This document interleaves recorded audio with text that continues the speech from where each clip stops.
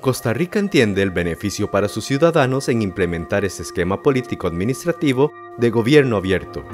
Es por eso que ha abierto sus puertas al ciudadano costarricense,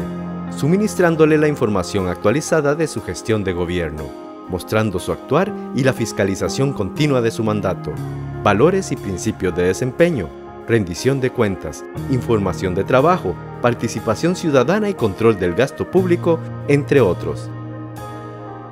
En el 2015 se crea la Comisión Nacional de Gobierno Abierto, y posteriormente se acuerda con los cuatro poderes de la República, Ejecutivo, Legislativo, Judicial y Electoral, firmar un compromiso para avanzar hacia la apertura de información.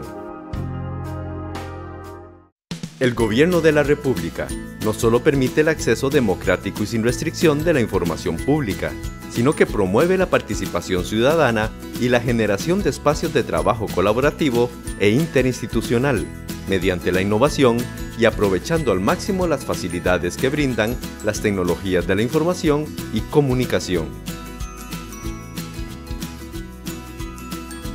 Pero para que este nuevo paradigma cumpla su función sociopolítica, se debe comprometer su aplicación en todas las instituciones del Estado, y es así que el concepto evoluciona a no ser solo de gobierno abierto, sino de Estado abierto, donde su alcance es total y al alcance de todas las personas y organizaciones. Es así como la Universidad de Costa Rica toma parte de este cambio ideológico y como pionera de los cambios fundamentales del país, se pone a la vanguardia desde el año 2014 a través de la Vicerrectoría de Administración en la implementación administrativa del concepto de Estado abierto, desarrollando propuestas para el cumplimiento de esta nueva idea. La Universidad de Costa Rica es una de las instituciones mejor valoradas por las y los costarricenses, de acuerdo con estudios de opinión realizados recientemente. Esta valoración positiva se debe a múltiples variables, pero podemos destacar dos. Por un lado, la excelencia académica y por otro lado, la buena gestión de los recursos públicos que manejamos. El gobierno abierto y las políticas institucionales de gobierno abierto son fundamentales en la institución básicamente porque con esto buscamos un acercamiento con la ciudadanía, un acercamiento mediante el cual rendimos cuentas, es decir, decimos qué hacemos con los recursos públicos, eh, transparentamos la gestión y transparentar la gestión es poner a disposición de la ciudadanía la información eh, de las acciones que generamos como institución y por otro lado eh, establecemos políticas de participación ciudadana que permitan ese acercamiento entre la ciudadanía y la Universidad de Costa Rica.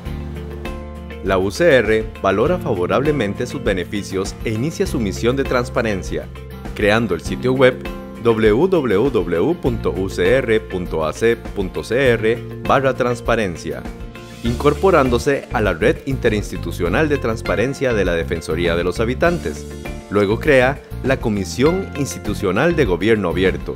entidad que se encargará de encauzar buenas prácticas para alcanzar la madurez en aplicación de la doctrina de Estado abierto, llevándolo al nivel particular de Universidad de Gestión Abierta. El SIGA inició su labor con el objetivo de promover los principios de gobierno abierto, brindar capacitaciones y establecer los compromisos entre las dependencias de la UCR para la publicación de información institucional en forma metódica aplicando los estándares Open Government Data para portales de buenas prácticas de transparencia.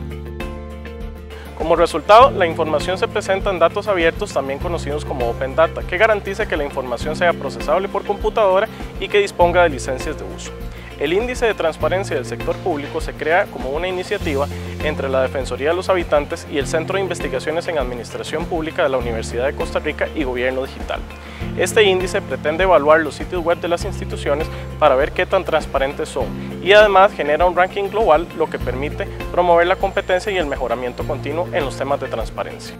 Además, se implementa un marco operativo institucional para el cumplimiento de los tres pilares del Estado abierto,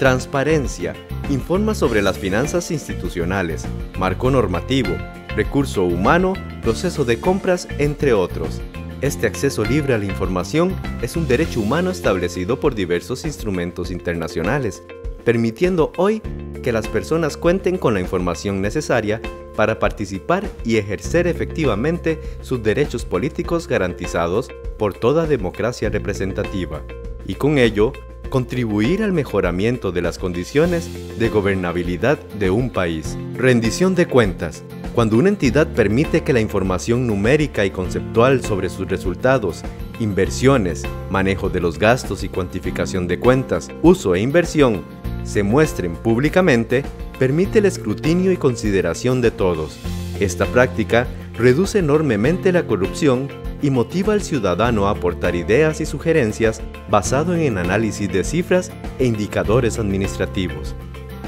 La colaboración y participación ciudadana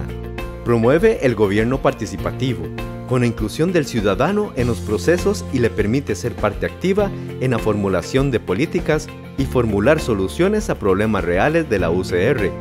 Además, se le brinda canales activos de colaboración civil y que promueven a las personas y demás agentes sociales a trabajar conjuntamente en favor de la universidad y de la nación. El derecho de los habitantes de ser escuchados y participar en asuntos de competencia nacional es hoy una realidad.